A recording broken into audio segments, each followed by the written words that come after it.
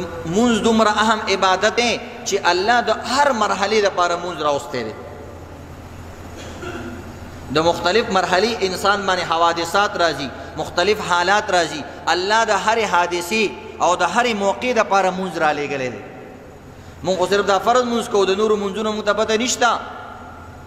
عزتمند پینځه وخت مونږ خو نارمل حالاتو کې بکې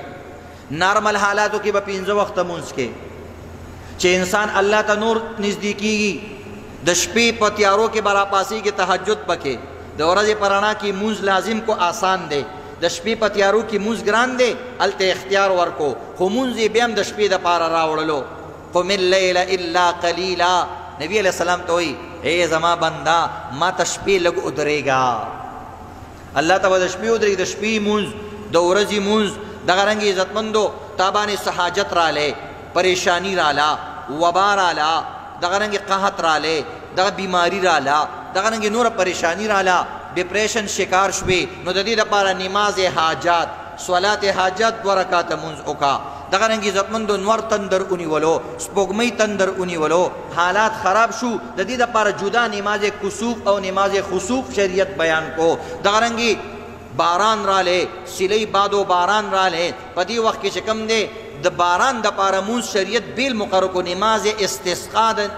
د باران بیان یا مثلا لمونځ نه کی باران نه کیږي د هغې لپاره نماز استسقا دی، ډېر زیات شي د هغې لپاره نماز حاجت دی. صلات حاجت مونږ دارنګ عزتمند ګناه د انسان ډیر شي انسان بدن د ګناهونو نه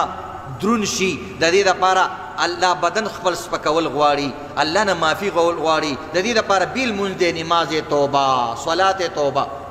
د توبې مونږ ان دوه رکعاته نفل وکا او الله ته توبه وباسه دغه رنګ عزتمند انسان ته خوشحالي ملاو شوه، خوشحالي ملاو شوه، زیری ورته ملاو شو او دا خوشحاله شو، په دې وخت کې دوه رکعته د شکرانې لمونځ دی. لمونځ دومره اهم عبادت دی.